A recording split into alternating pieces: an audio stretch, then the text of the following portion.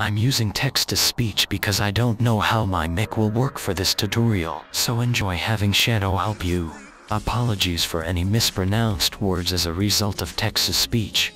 I will add captions to this when I can.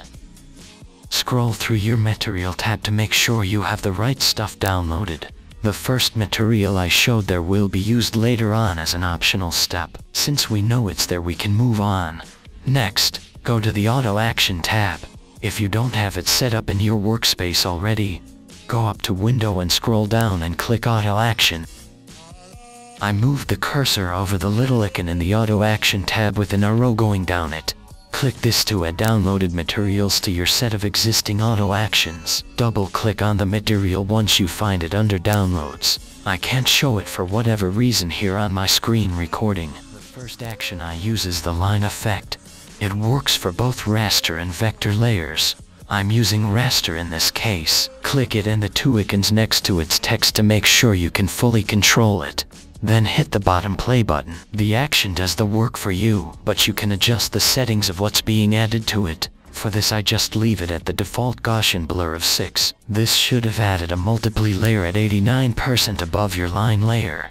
Next is the color filter. I use this under the line layer and above the color ones. Just click on it and it should create two color layers that fill the picture.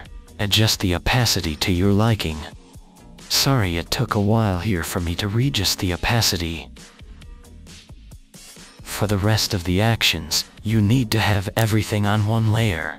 I would suggest saving first. Right click on a layer and hit flatten image. Up next the retro blur. I hit the second box once again so I can have control over the amount of Gaussian blur used. I use the default number here as well. This action automatically merges the two layers created. The step here is optional but I like it as a nice subtle bonus to make the picture look more low quality. Once again I scroll over to the set called VHS Action Set. By Atwat add it to the Auto Actions tab like you did before with my set. Then scroll down to the action titled Lure Quality. Hit play and go with its default settings. Lastly is the Vizia screen effect. I like to adjust it down to the 11 to 15 range on the blur for it.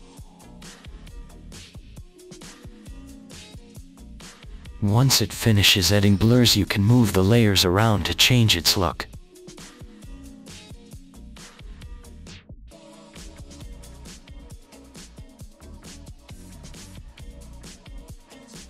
The last thing I do is add noise. I will link the exact set I use in the description. I chose the second of the three options in the folder which translate to noise blur. Drag it over from the material to on top of the picture.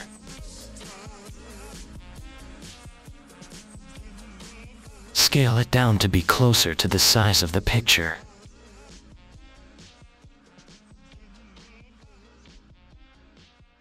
Then set the layer mode to soft light change the opacity somewhere between 30 and 40%.